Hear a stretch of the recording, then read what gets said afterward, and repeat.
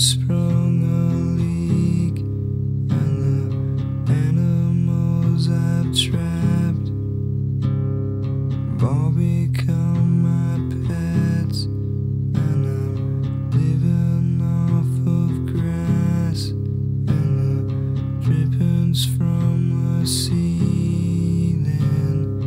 It's okay.